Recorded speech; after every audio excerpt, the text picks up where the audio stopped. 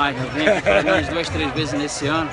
Quando não, tô aqui com o José Aldo também, que é cria daqui, tá José fazendo um evento beneficente aqui. Eu fico muito orgulhoso de poder participar e feliz.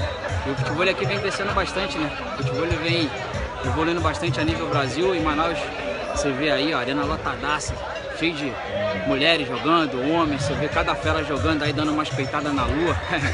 e é complicado, né, Neca? A gente tem que se preparar porque a gente sabe que vem jogo grosso aí pra gente futuramente, mas é um futuro bem próximo e a gente tem que estar pronto.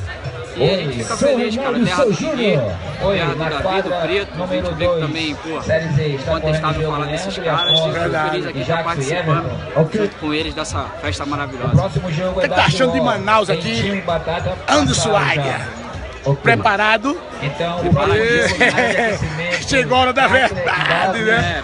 É, Eu sei que seu currículo, você já é do jogo, é frio, já tá acostumado com grandes partidas, grandes eventos.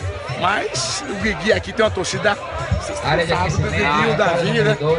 É verdade, falar um pouquinho do, Rodrigo e João. O Guigui, pra mim, é, é sempre Guigui, emocionante. monstro, um cara né? que eu também quero sempre também enfrentar, porque eu sei que pra ser o melhor a gente tem que ganhar dos do melhores. Brasil. Ele tá sempre preparado, vejo ele jogando, treinando com a rapaziada, carregando a galera Fera, meu irmão, daqui. Isso aí pra ele é um treinamento Na próxima vamos jogar junto. monstruoso e a gente sabe disso, sabe da responsabilidade de jogar na casa dele, do Davi também, do, do Preto, sabe que a torcida vai fazer com que eles cresçam e a gente está pronto. É, é natural, isso é gostoso jogar, participar dessa forma é, e que vença o melhor. Todo mundo está preparado, sou fã dele, vejo o crescimento aí também do Cinho, excelente jogador. É, realmente o Cinho- Casou bastante, né? Oh, Essa dupla, vem É. treinando, vem entrosando sempre.